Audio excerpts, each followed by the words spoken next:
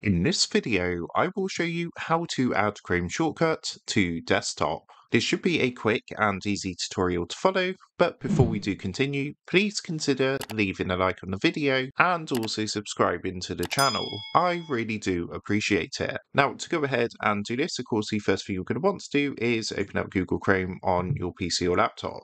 Now, once you've done that, you can do this with any page on Chrome. In this example tutorial, I'm just going to go ahead and add Google. So once you're on the page that you want to create a Chrome shortcut for, what you want to do is come up to the top right hand corner and click onto the three dots to bring up this menu. On this menu, come down to the option which says cast, save and share. And when you hover over this, what you want to do is come onto this sub menu and click onto the option which says create shortcut. At this point, you can go ahead and name your shortcut and then just go ahead to click create. And then that's going to open up your File Explorer. At this point, it should automatically put you on your desktop. You can see it's being created here. And you will now see if I close this down and I come back to my desktop that we now have our shortcut to Google. So I can double click and straight away it's going to open up Google. So that is how to add Chrome shortcut to desktop. With that being said, I hope this quick tutorial did help you out today. And if this did help you out, I would really appreciate it if you was to consider dropping down below the video, leaving a like, and also subscribing to the channel. With that being said, I just want to take a minute to thank you guys for watching this quick tutorial, and I will see you in the next video.